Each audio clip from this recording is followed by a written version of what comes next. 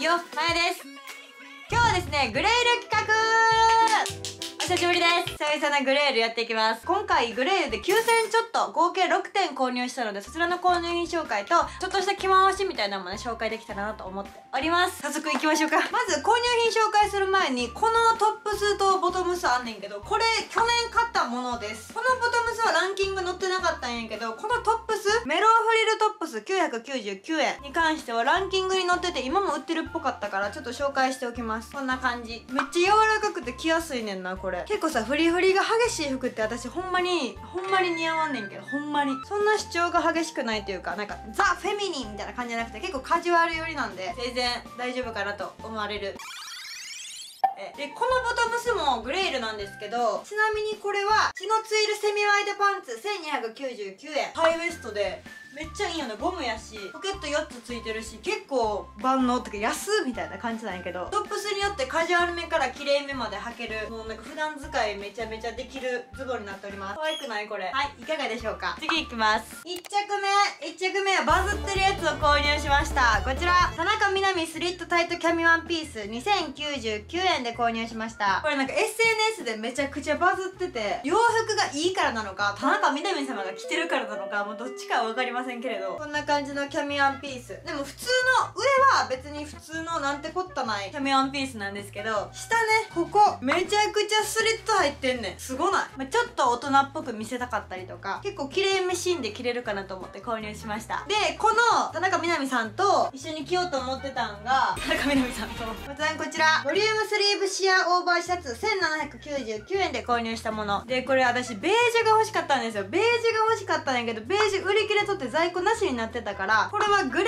ジュを購入しました。ラベンダーっぽい薄い紫みたいな感じの色のやつを購入しました。まあ一旦着たいと思います。はい着替えてきました。バリバリタイト。なんか おっぱいの部分がしんどい。大丈夫これ。めっちゃさらし巻いてるみたいなきつさなんやけど。エロ。マジパンツ身は結構タイトなんですけど下はめっちゃこうなんていう開くようになってる。綺麗。スリット見えるかな。ちょっと大人？みたいな。なんか最初ベージュがいいかなと思ってたけどなんかこの色やったら落ち着いた感じで全然いいかも。でまあポケットはついてなくてでこれ結構タイトやからもしかするとパンツの形とかが見えちゃうかもしれん。なんかめっちゃこうやってやったら分かっちゃうかも。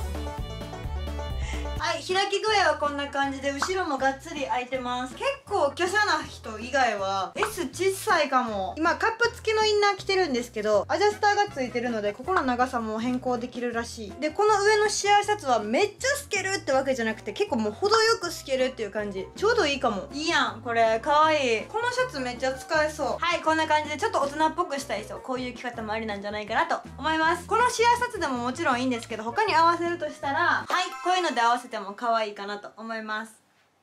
こんな感じ。ただ腕めっちゃ見えるからちょっと苦手やなっていう人ははいこんな感じでもいいかなと思います。結構フォーマル感出るけど下が結構パックリ開いてるからちょっと大人ないやらしい感じも出るかな。思っちゃったり。これやったら腕とか胸とかも強調されへんからちょっと安心してねいろいろ出かけられるかなと思います。私さ黒の網網のやつあってんけどさどっか行ってんな。マジで部屋汚すぎて。誰か片付けに来てほしい。んまにやばい。また23日尼崎帰省するんですけどその服をさっき選んどった時に私もこういう探し方するからもうすごい産卵産卵になっちゃってどこあるか今わかんないんですけど今年流行りの網網のやつとかと合うかなと思います。はい次次行きましょう。次はこちら。今田美桜センタープレスストレートパンツ。1799円で購入しました。これもめっちゃバズっててめっちゃ人気で再入荷になったやつなんですけどブルーは個人的に買ってブルー良かったのでイエローも買ってみた。カラーパンツ挑戦したい人とか、まあ、1着持ってこうかみたいな人にめっちゃおすすめです。履いていきたいと思います。はい履いてきました。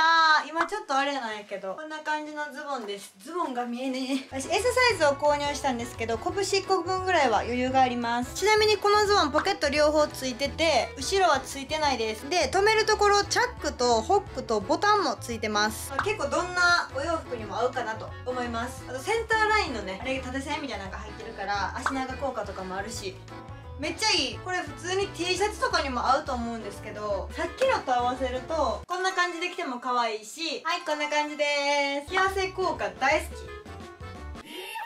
今年の夏はカラーパンツ挑戦したいなみたいな人はぜひぜひ購入してこれずっと1位商品でめちゃめちゃ人気やから買って損はないと思います。次シンプルなやつを購入しましたスクエアネックリブテレコトップス。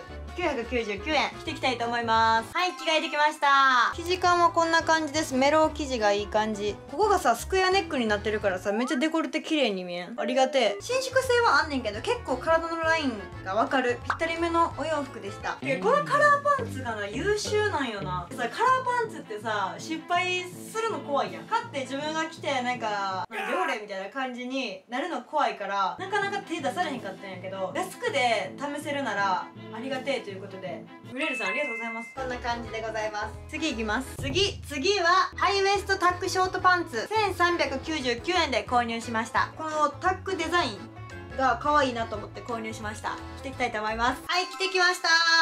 こんな感じでございます。めちゃくちゃ可愛いんやけどポッケついてないのが残念。結構後ろもタックデザインがあってどっから見ても可愛い感じ。で太ももの部分は広がってくれてるので細見え効果もしっかりとねあります。いかがでしたろ？去年グレールで買ったこういうちょっとなんかフェミニン感出てる甘めなやつにも合うかなと思います。何でも合うすごい。こんだけ YouTube やっててこんなに浅いコメント来るかって。はい白の服着たらこんな感じです。こんな感じでございます。次行きましょう。次次はラスト。こちらスリットフリンジスカート。1699円で購入しました。めっちゃ可愛いないこれ。即決やってんけど。このフリンジがさ下もあんねんけどスリットもここに入っててめっちゃ可愛いねんな。履いていきたいと思います。はい着てきました。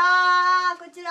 可愛い。ポケットもついてるしここちゃんとゴムになってます。いいじゃん超いいじゃん。生地感はこんな感じで。どう？かわい。いグレールで去年か一昨年購入したこういうカバンと合わせると定番でももちろん可愛いしこういうカバンやとザ・夏っていう感じがするしこういうの合わせるとちょっとかっこよくなります。どう？かわい。いやっぱでも定番はこの黒かな？しかもこのクリアやからちょっと夏っぽいっていうのがいいよね。かわいい。はいこんな感じです。ペットボトル入るから安心してください。最近また荷物多なってきてんなやばいねんけど。どうなん以上6点ご紹介いたしました。いかがでしたでしょうか？いかがでしたでしょうか？今回全部可愛かったんやけどこのさ田中みな実さん？田中みな実さんちょっと M サイズ買えばよかったってめっちゃ後悔してる。私骨格しっかりしてるからタイトなやつ気をつけなあかんねやんか。だからちょっとこれだけけどまあ着るけどっていう感じでございました。またねグレールとかシーンとか GU とかユニクロとか、まあ、その他もろもろあの購入品紹介またしていきたいと思いますのでチャンネル登録高評価コメントよろしくお願いします。ということで最後までご視聴ありがとうございました。えー、ちょっとこれ可愛くない？みんなどう？めっちゃお気に入りな今年ももう本格的に夏が始まってしまいましたが可愛いお洋服を着て一緒に楽しんでいきましょう。ということでまた次の動画でね。バイバーイ